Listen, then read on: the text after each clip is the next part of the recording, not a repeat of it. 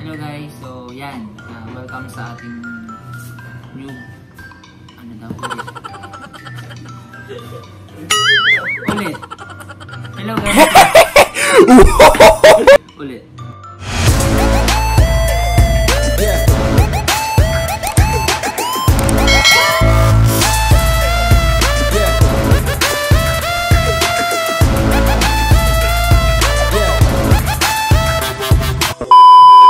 Welcome sa YouTube channel na ito. Hindi ko alam kung anong kabuluhan ng channel. So ngayon tuturo ko sa inyo paano magluto ng ano, nilagang kalabas. so ano yung unang kailangan natin sa paglulu paggawa, paglu ah, anong kailangan natin pag magluluto tayo ng nilagang kalabasa. Specialty ko kasi to from sa province. Ang ganda ng ano ng ilaw. Oh. So, kutsilyo. So, sa pagluluto ng nilagang kalabasa, unang kailangan yung gawin ay pumunta ng supermarket tapos bumili kayo ng kalabasa doon. So, nakabili na ako ng kalabasa. Itong kalabasa na ito ay nagkakalaga ng 3,000 won. Buy one, take one yung isang naluto ko na last week. Pero ngayon ko lang naisipang magbili. So, ituturo sa inyo paano lutuin to. Then, ano yung mga sangkap natin? Welcome sa panlasang Pinoy. so, yan, kalabasa. Tapos, luya. So, yan, luya dito, kamahal-mahal ng luya. Oh 1,660 won. So, sa peso ito ay nasa 50 pesos ba? Hindi nagkakamali. Tapos, kailangan din natin ng betching. Lagyan natin ng betching para magkalasa ng asin. Tapos, ito yung gas na gagamitin natin. so, yan. Ngayon, umpisa na natin balatan. Gusto mo ba ikaw na yung magbalat? Audit, may ano ako, may kasama ko din. Ngayon, umpisa na natin balatan ang kalabasa kari. So, kung nakikita nyo, napakaputi nung sangkalan namin, ano.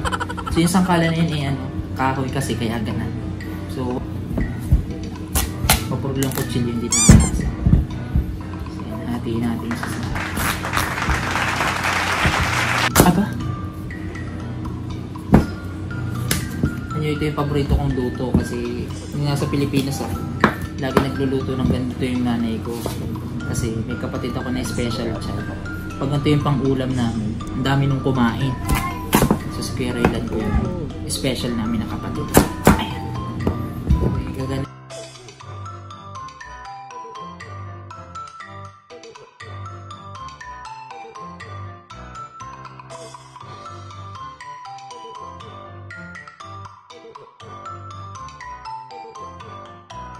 Kasi ito yung pinakamadali.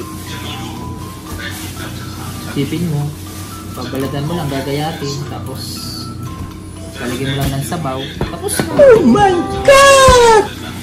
Pero yung pagluluto ko ng kalabasa, wala rin minsan lasa.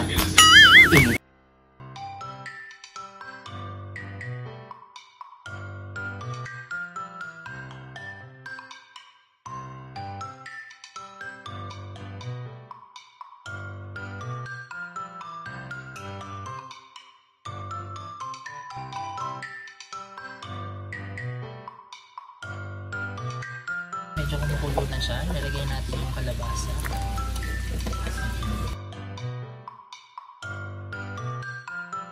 A few inches later.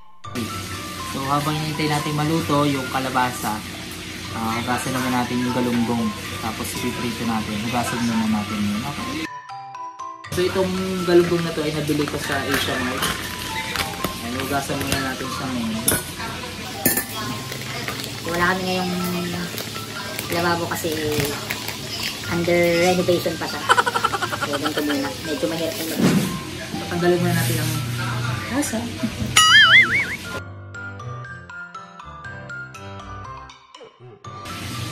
Okay naman yung lasa, kaya lang hindi siyang yung lasa ng sariwang nabibili sa palengke.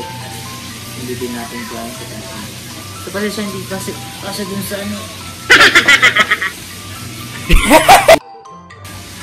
Hindi nyo muna ako nakikita. Ang hirap pala mag-vlog, no?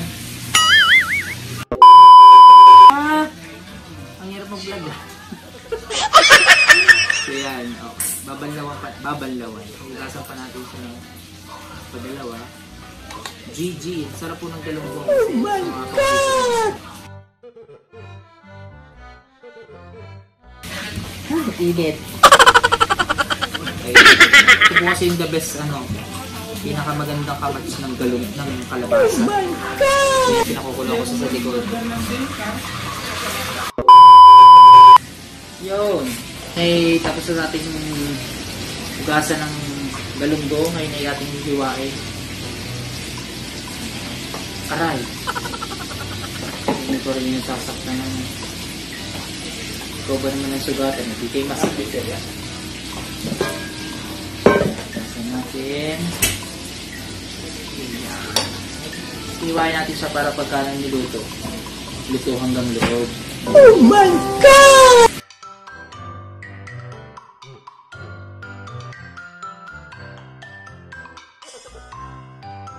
Lalagyan naman natin ng asin. Lalagyan natin ng asin yung isda. Roll, roll, roll, roll natin.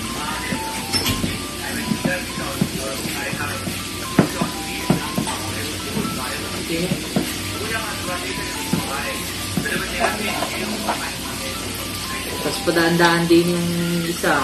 Sino kayo nagbablog? Sige, panira. Kung parang ang sobrang daming asin na rin, baka rin mapait. Maalat pala.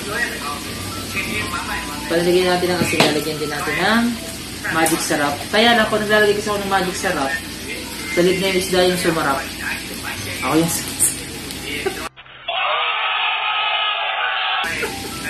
It's a prank, baby! Ayan, natin yung sarap.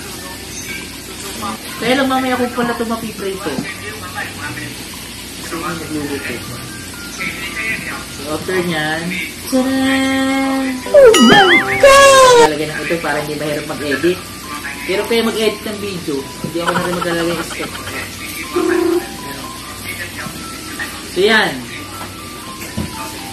Basta tayo mag-prepare ng galunggong.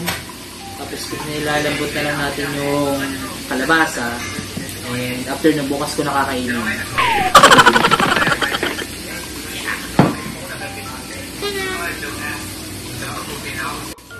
Ngayon, titikman naman natin kung kalaba.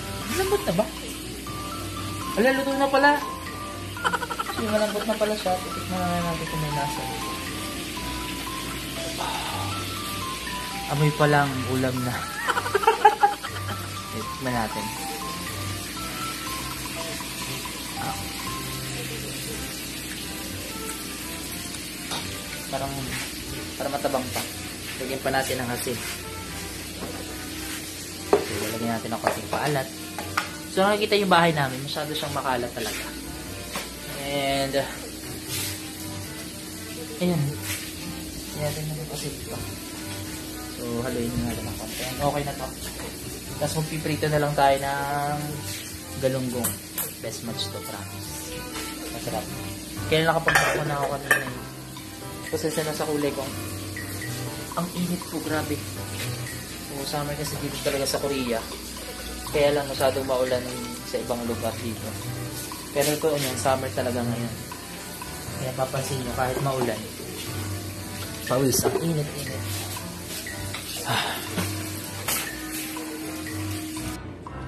Ayan. So, luto na yung kalabasa natin. Ngayon naman ay piprito natin yung galunggong. Hindi ko ba kasi hindi pa tong kalan. Lang. Ayan siya. So, piprito naman tayo ng galunggong. Nakakapagod magluto, no? Yun, ito na yung kalbasa natin. Ayan, ito namang galunggong. Pagod magluto. Ang init pa. Ayan. So, iba yung kulay ko dito sa ano nito kasi ibang camera yung gamit ko. Yung Samsung yung gamit ko dito. Kasi isa medyo light yung kulay kasi ano naman yun, iPhone ko yung gamit ko. So, nagpalit muna ako kasi mas wide kasi yung camera nito isa. Compare dito sa isa.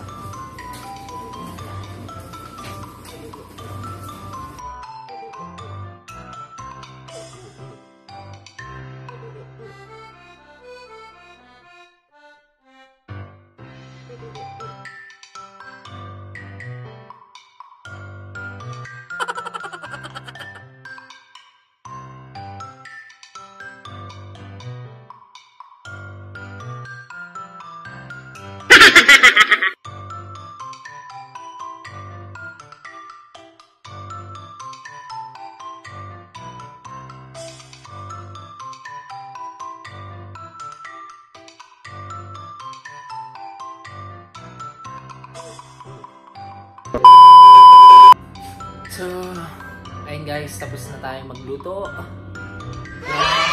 Luto natin. Ay, ay, ay. Galunggong. Siya. Yan ay galunggong. Sa magluto and June. Sana gusto niya itong vlog. Hindi ko alam kung anong vlog na ito eh. Basta. So yun, ah, kung gusto na gusto niyo, so please click the subscribe button para mag-updated ka sa mga susunod na video. And yun, bye-bye!